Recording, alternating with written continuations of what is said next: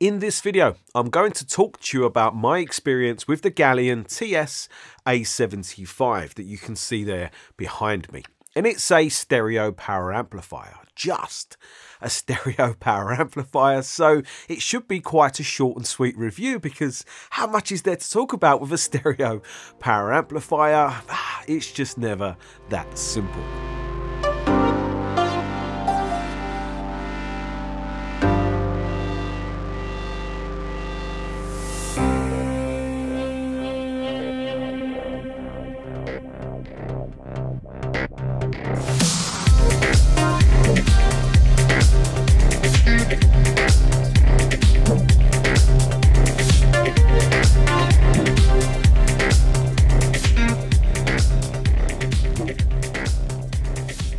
Galion TS-A75 stereo power amplifier is the creation, to some extent, of the hi-fi YouTuber Thomas and Stereo, who you may know.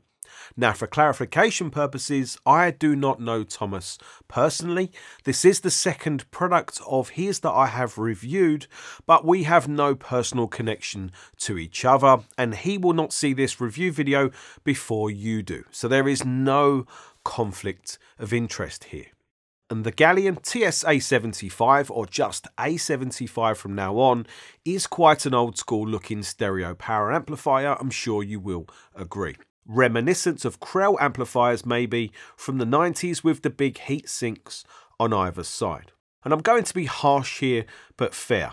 I think she looks quite nice, but she is unlikely to win any beauty contests. And also the build quality, while easily good enough, it's solid and heavy enough at over 17 kilograms, with all of the metal used here being very thick. Even the front faceplate, it's very thick. But the A75 is not what I would call a lavish or luxury feeling amplifier. It feels, you know, well built and solid, but doesn't have that kind of luxury touch, which I'm absolutely fine with if it means more of my money has been spent on the sound quality or really on the internals to create that sound quality. And how much money are we talking here? Well, $1,495 plus shipping costs. So actually a very reasonable amount of money if the A75 is any good.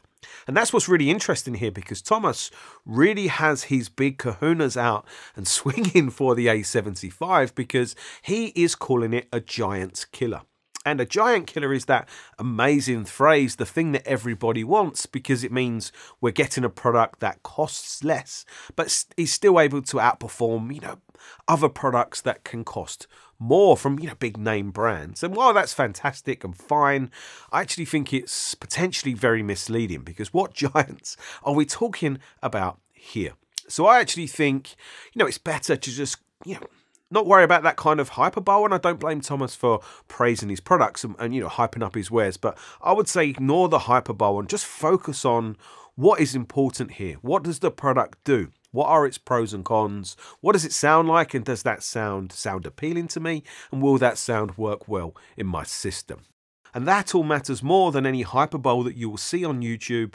And I am as guilty as the next man, and you can't hate the players, you have to hate the game. However, I wanted to test Thomas's bold claims as I have two amplifier giants here for the Galion to try and kill. And it doesn't stand a chance. Or does it?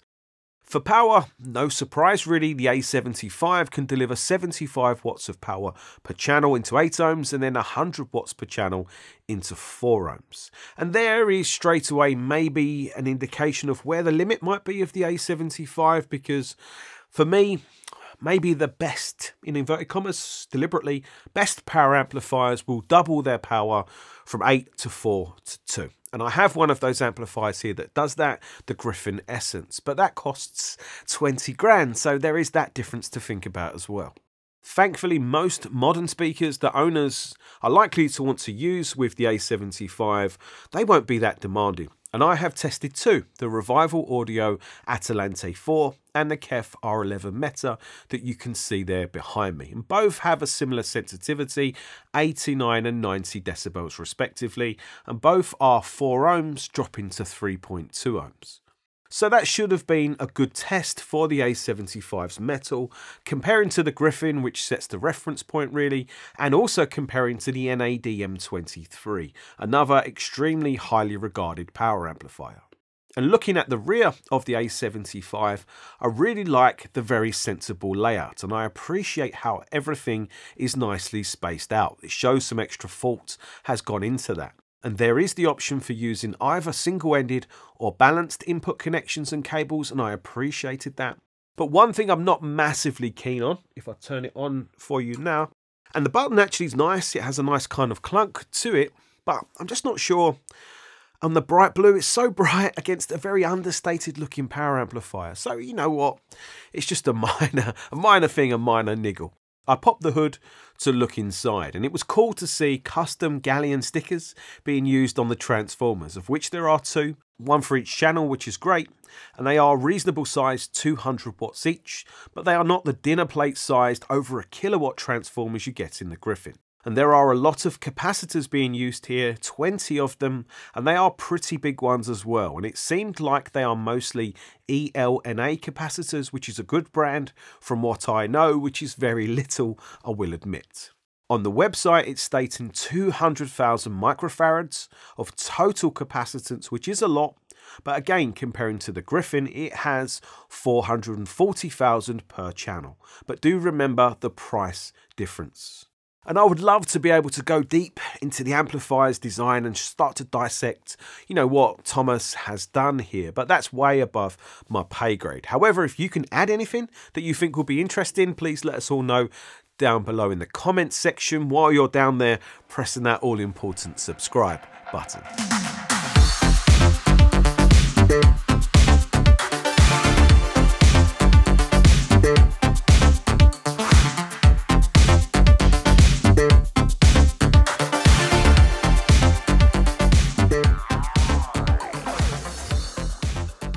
Let's talk sound quality. And my first impression of the Galion TS A75 was that it reminded me, its sound, its overall sound vibe reminded me of my time with the Galion TS120 SE tube amplifier that I reviewed last year. Now that review was uh, some number of months ago.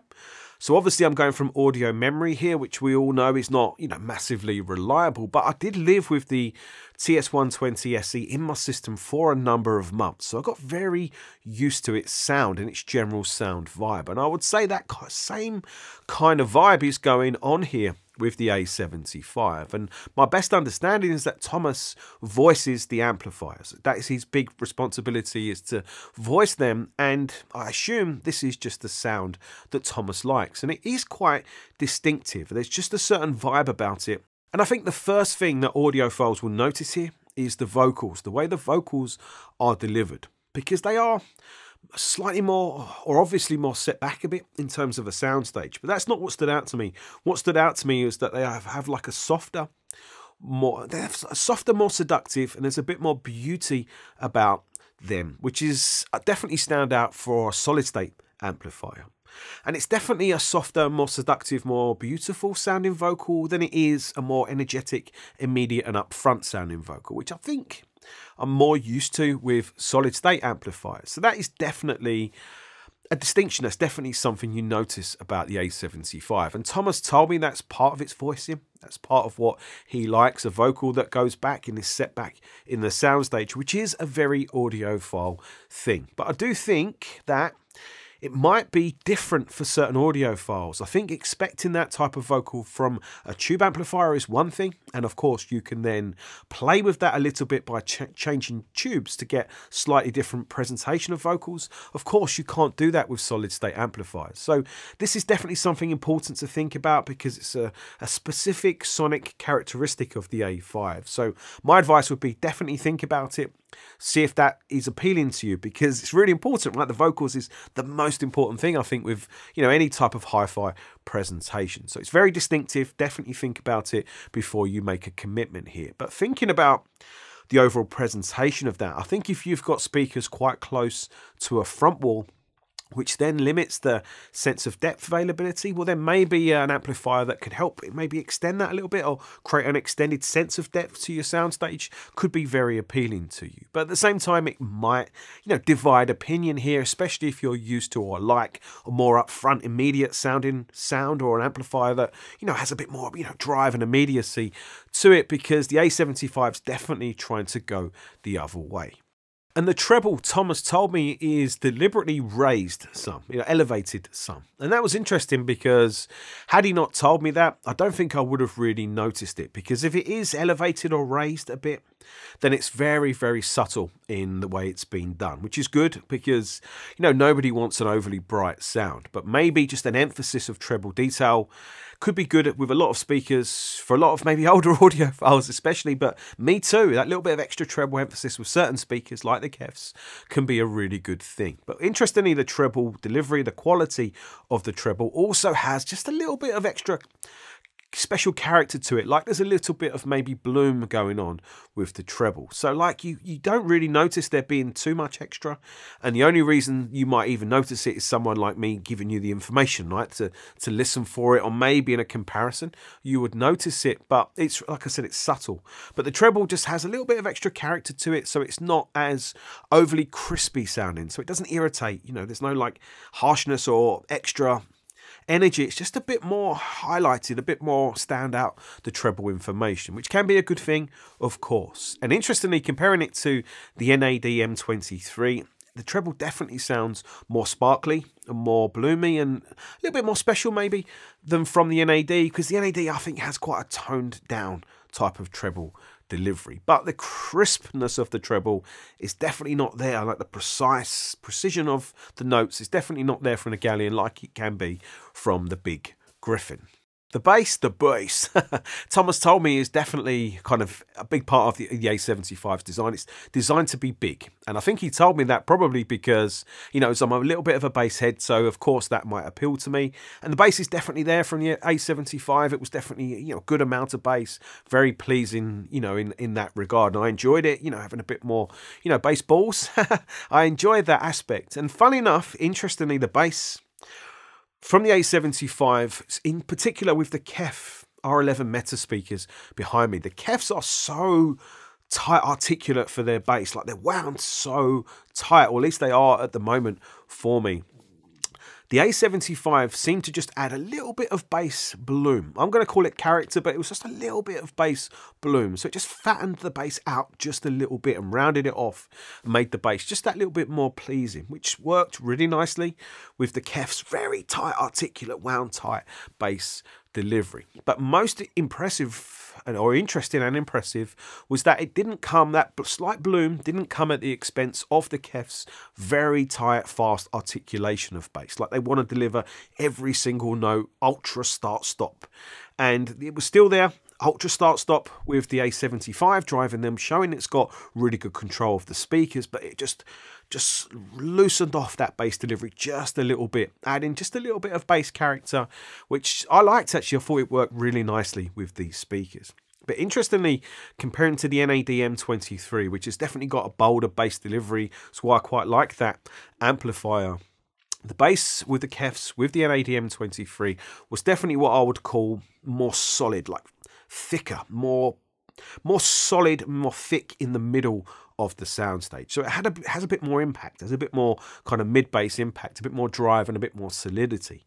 But interestingly, didn't have or doesn't have quite the same nimble articulation with the Kef speakers than you get from the Galion. So it really depends on what music you're listening to, whether that mid bass punch and thickness and fullness and kind of middle region being more solid adds something or whether it takes it away. So maybe listening to something like some big vibing reggae, it could add something. Maybe listening to classical music, it might congest the soundstage a little bit. So it's an interesting, it's a really interesting difference there. But the bass from the uh, a75 it's very very good quality i like the character of the bass so yeah it gets a gets a tick in my box for quality I know soundstage is important to Thomas, and that's one of the things that the A75 is praised for having a good soundstage. And interestingly, with it in the system with the Kefs, listening to certain music, The sense of three dimensionality or the sense of the sound to go away from you was very impressive. It's as, as good as I can get in this listening room, which is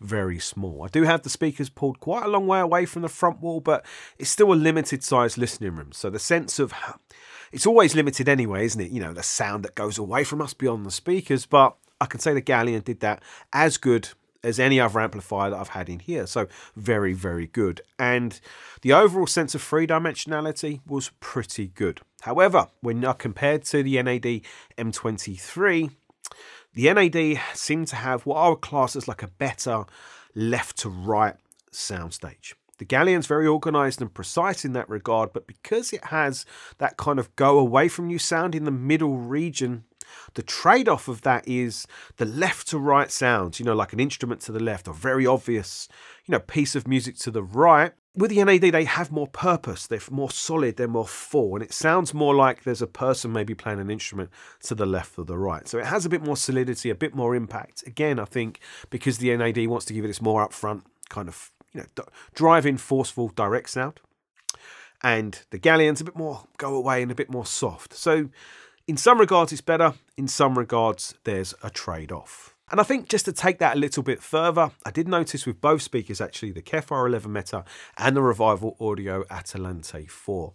That sense of go away, that sense of the vocals being just that a bit further back, is great in some regards, but with, with some music, it can make the vocals just sound a little sucked out, just like a little lacking and sucked out in some regards. And in particular, I'm thinking of one of my favourite albums, actually, Colter Wall Songs of the Plains, where it has this really kind of impactful bold, gruff vocal in most of the songs. And with the NAD, in particular with the Gryphon, with the, the Revival Audio Atalante 4 speakers, that vocal was really solid and kind of big and impactful in the center of the soundstage. And when you take that back to give you a sense of depth, yes, that is nice from a, a, a holographic soundstage and point of view, but the way that vocal can be presented, that immediate up close to a microphone, goes away a little bit and it kind of sounds a little bit sucked out. So like everything in audio, there's pros and cons to everything and it's, it's definitely a different way of presenting that same piece of music.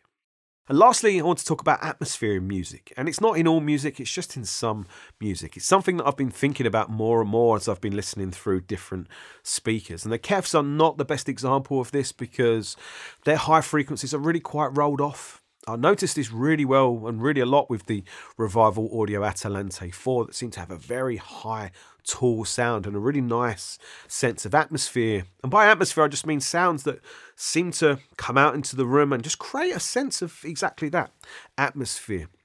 And interestingly, I think that mostly comes from our music's extremes. Bass does it in some regard, but I think it's the high frequencies that really extend the sound up into this I don't know, maybe it's psychoacoustic, but like some some higher frequency region. And interestingly, I think the Galion will do that really well because of the way it's designed treble wise, that little bit of extra spice and life going on in the treble, more so than an amplifier like the NAD M23, because like I said, it has it seems to have like a, a little bit of a shutdown treble to me in terms of, yeah, just a difference with other amplifiers. So, to sum things up, then, I hope you've got something out of that main comparison there between the Galion and the NAD M23. For me, the Galion TSA 75, it's a power amplifier with a lot of positive qualities and an obvious character with some charm thrown in for good measure. The kind of charm that makes music very pleasurable to listen to with no real obvious weak points until you do some kind of comparison, which is why you do them, of course. But it's important to stress that the comparisons I've been doing are with amplifiers that cost, I think, twice as much and about 15 times as much. So, sorry, Thomas, no, no giants were killed in the making of this video, but the, just the fact that I'm having this conversation, that the Galion's holding its own, more so with the NAD than, than the Gryphon, but the fact that the Galion's holding its own with the NAD M23, an extremely highly regarded power amplifier that costs twice as much is a very good thing, and there's a lot of praise obviously going in there. Yes, it's different, but it's holding its own, which is a very big thing because it means, you know, for a very reasonable amount of money, you are getting a very good power amplifier here, which is fantastic for the consumer, of course. But I just want to finish the review with a thought really because it's interesting that Thomas has released a power amplifier before a preamplifier because of course the preamplifier that you're going to use is going to massively affect what you get from the power amplifier. So i have to throw you know hats up in the air cards up in the air. I wonder if thomas is working on a preamplifier. That's pure speculation. I have absolutely no idea. I think more interestingly is that i wonder if thomas has thought about all of the streaming dac preamplifier type products that are available on the market from Eversolo, Auralic, Hi-Fi Rose, the Audiolab 9000N that I looked at recently, all of these products are streaming DACs with some of them have got very good preamplifiers in. And, you know, if my experience is with some of these streaming DAC preamplifiers in the maybe 1,000 to 2,000 pound price ranges, in my experience, some of those have quite a, what I'm going to call quite a clinical sound. It's to add a power amplifier to them that adds a bit of charm, that adds a bit of sweetness, that adds a bit of, you know, set the vocals back a touch, you know, a bit more boldness in the bass, a little bit of special character in the treble. Maybe that would be a really nice balancing act system, you know, which is what hi-fi is all about. That system, you know, curation that gets the magic sound that we're looking for, maybe this amplifier will work really well in those regards. So maybe that's a little extra something for you to think about while you go down there and hit that thumbs up button because of course you've loved the video and subscribe to the channel.